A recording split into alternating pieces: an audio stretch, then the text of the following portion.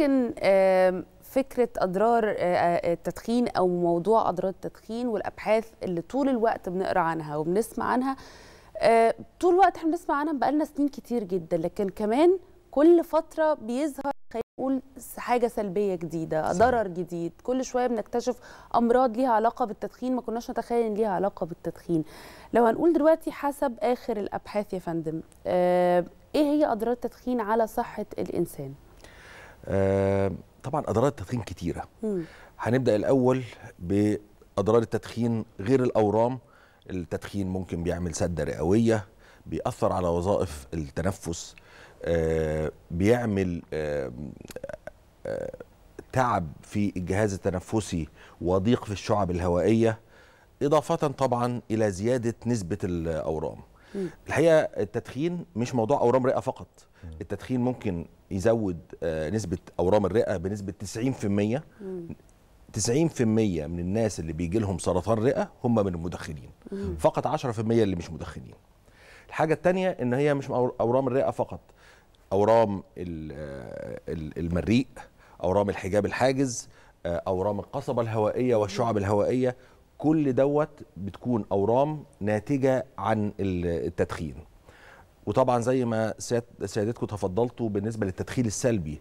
التدخين السلبي آه، فيه أهمية زي التدخين الإيجابي بالظبط. ليه بقى؟ التدخين السلبي بيبقى مثلا راجل مننا قاعد في البيت وبيدخن والبيت مقفل. فبالتالي اللي قاعدين معاه زوجته وأولاده هم بيستنشقوا الدخان ده كله وبيحصل لهم نفس اللي بيحصل له بس يمكن أكتر كمان مم. لأن هم دلوقتي اللي بيدخن بيطلع ال- يعني كأنه الدخان. مدخن. بيطلع الدخان. لكن الطفل. أو السيدة اللي موجودة في البيت ديت بتستنشق وهي ما بتطلعش زيه فبالتالي بيحصل لهم نفس الإفكت ونفس الآثار ال- السلبية. ودي رسالة الحقيقة أي حد بيدخن في البيت طبعا الأفضل إن أنت ما تدخنش. ولو هتدخن اتفضل بره البيت اتفضل في البلكونة لكن مفيش داعي تأذي اللي حواليك. طب مجتمع المدخنين بيبقى فيه كده شوية أسئلة أو بيقولوا إنه الواحد لما يقلل من آه، آه، آه، عدد ال- السجائر أو التدخين يوميا ده ممكن يضمن له صحة أفضل. محدش يقدر مثلا المدخن إنه يمنع مرة واحدة أو يبطل مرة واحدة ودي برضو من المشاكل اللي بنشوفها كتير جدا من أي حد مدخن ناوي يقلع عن التدخين. هل الكلام ده حقيقي إنه عاد يعني لو سيجارة زي ما كأنه بيشرب آه، آه، 20 سيجارة نفس الضرر؟ آه لا مش نفس الضرر. آه كل لما زادت عدد السجاير كل لما زاد نسبة الإصابة بالأورام. حتى لما بنيجي نعمل فيه آه، حاجة م- مهمة جدا برضو إحنا حابين نتكلم عليها النهاردة وهو الإجراءات علشان الكشف المبكر عن الأورام. لما بنيجي نتكلم عن الكشف المبكر عن الأورام ده بيكون عبارة عن إن المدخن بيعمل أشعة مقطعية آه، قليلة الإشعاع مرة في السنة.